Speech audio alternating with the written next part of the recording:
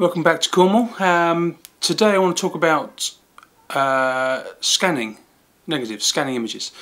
I've always used a scan. I've always scanned myself. I've always um, certain negatives to be developed if they're colour. I do a bit of black and white myself, um, but normally I would get the negatives back and I would scan myself. And it's always been quite a painful process, a painful experience.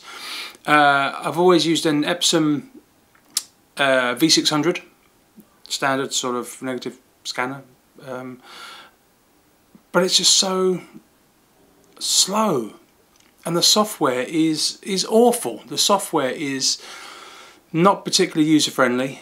Um, I don't know there's just something about it. It's just a bit dated. I don't think they've actually updated the software for years. It's just it's just been always been a really painful experience. Um, I would also get these weird uh, purple lines going through the image. Googled, couldn't find the answer, but I've get these lines all the time. I'll show you on this uh, on these images here. So you can see this uh, this kind of purpley line going through the whole image. Um,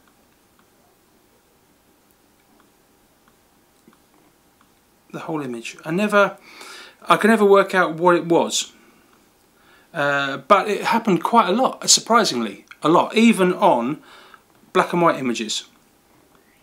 You'd get this purple sort of line going through the shot. Uh, which is um, which is not good. Uh, and I've always just photoshopped the the, the line out um, and just gone with it. Uh, but it's never really been a fun process scanning images. Um, I didn't really like the way it, it, the V600 uh, dealt with grain either. It just don't know. It makes the it, it makes the grain if it makes sense, even grainier, uh, which I which I didn't really. I mean, yeah, of course, I, love grain, but it's just don't know. The whole the whole process of scanning images was a was a not very enjoyable experience, and I don't think the results were that good. Um, so what I've started doing recently is photographing my negatives. I've got myself a uh, one of these bad boys. Basically, a uh, a light pad, I think they go under the name of. And I put the negatives on and I take a photo and the results are great. Surprisingly, the results are really good and the process is quick, really quick. Um, I normally tether it into my computer so as I'm shooting it just appears in Lightroom uh, I'm shooting on a EOS R so I'm getting a 30 whatever the EOS R is 32 megapixel uh, image raw image and it's just it's just quick and really easy and you can go through a roll in literally minutes. Um, yeah it's um, it's certainly made scanning a bit more enjoyable and uh, yeah, it's um, it's taken the pain out of it. That's for sure. You have to excuse the setup, but since the uh, the lockdown, I've had to uh, vacate uh, my normal office and uh, bring everything home. So this is a bit of a bit of a uh, bit of an odd setup here.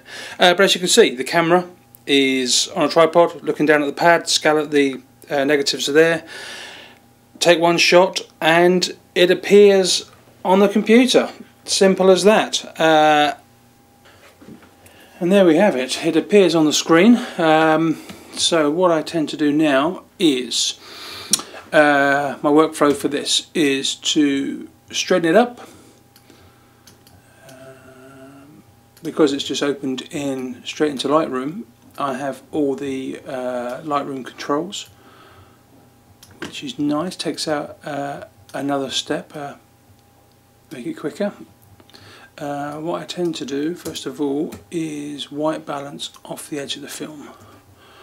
This is a black and white image but you get the idea. So this is my rough sort of image. It's not very straight, but we'll deal with that later. And then what I do is open Negative Lab Pro, uh, which is a way of converting the negatives. It's just a quick and easy way of converting the negatives. So I make sure I'm set to black and white, and I convert the. And what we get is that. So Negative Pro, Negative Lab Pro, you get some settings in here brightness, contrast. If it was a colour image, uh, you can adjust colours of the scan, uh, of the not even a scan of the shot, and basically it gives me the within Lightroom I get all my controls. Uh, I don't know why that was so wonky when I took it. Let's have a look. That's not bad. Let's straighten that up. Straighten that up a bit. That's looking slightly better. A uh, bit of contrast.